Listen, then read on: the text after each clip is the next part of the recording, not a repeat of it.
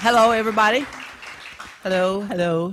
Uh, it's good to see you all. Uh, I came 2,000 miles to deliver this speech.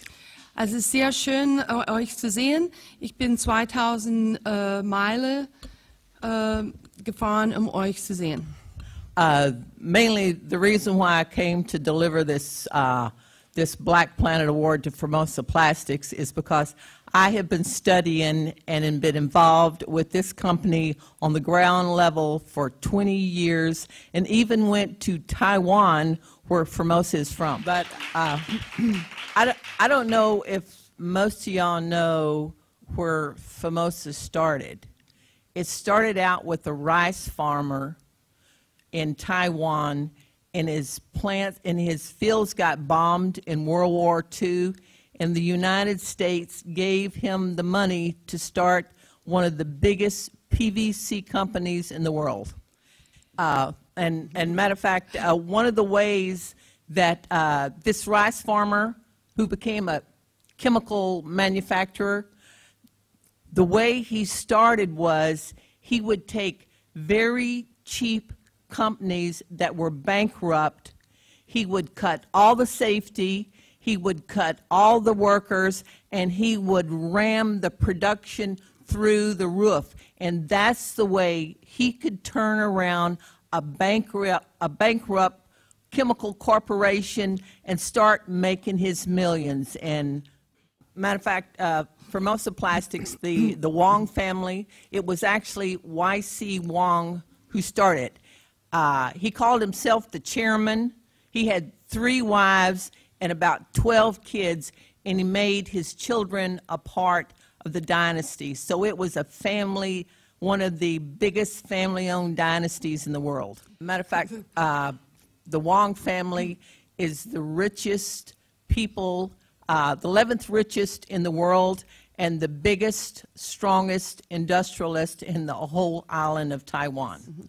And uh, matter of fact, the reason why Formosa, the Wangs, came to Texas, where I'm from, the reason why they came is because they got kicked out of Taiwan because they were such bad polluters, so they came straight down to Texas and Louisiana.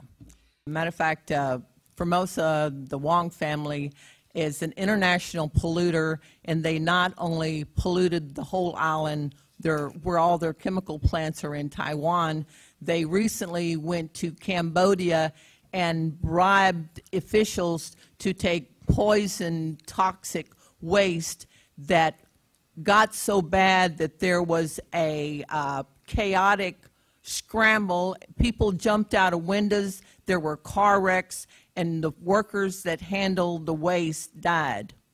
Matter of fact, uh, they've got chemical plants down in, uh, they got them in Illinois, they got them in Delaware, they got them in Louisiana, they got them in Texas, and if they haven't blown up their plants, they have either been so outrageous that the governor of Delaware revoked every single one of their permits. So for, for 20 years now, I have been fighting Formosa Plastics, and they're doing the same things they did 20 years ago, and, and primarily is because the state of Texas and the state of Louisiana uh, have a little collision going along with them, and they work hand in hand, and so they can have a 140 thousand pound release and all the state will give them is maybe like a thousand dollar fine. uh, and primarily, when I, when I first started fighting Formosa, they landed a helicopter in my front yard, shot at the house, and killed the dog. Um, and when I was shrimping on my shrimp boat, Formosa sabotaged my shrimp boat, and I nearly sank out in the bay twice. And right now, there's uh, there's researchers from the university, like University of Texas A&M, and what they're finding downwind of Formosa, the cattle, they all got DNA damage, meaning their chromosomes are changing. the oysters in the bay are changing. The DNA is changing because of the emissions that constantly come out of that plant and not only exposing the cattle, the sea life, but the workers. Right now, I have, uh, after 20 years, it's very hard for an environmentalist to get the workers in a chemical plant because you always think it's your job, and an environmentalist is going to harm your job. But Formosa is so bad that now I have the workers. Uh, right now, we have an, uh, we started an injured workers group uh, from the Formosa Plastics plants, and it's it's men who have been constantly exposed to EDC, ethylene dichloride, vinyl chloride, benzene, chromium, you name it. And, and a lot of the workers, one, one worker I can tell, he was a supervisor, 25 years, and now his mental capabilities is like a 12 year old.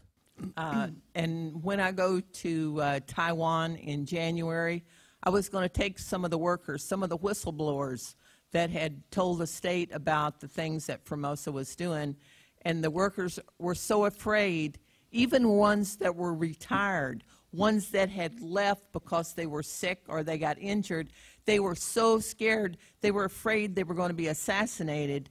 So, you know, they're still hiding out. These workers are still scared from the way Formosa treats the employees and the community. Um, and that's why I'm, I'm so glad to be here tonight.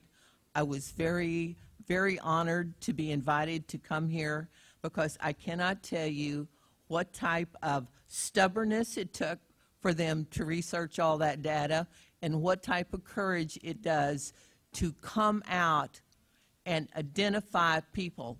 I, I think it's tremendous that people like Yuri gets gets awarded for for the things that he has done. I think that's extremely important that we have role models like him. But it's also very important that the people who are out there doing these deeds, not just the corporation, the names, the people, the faces, that they get identified. Thanks a lot. Okay. Vielen Dank. Ja. Okay, good.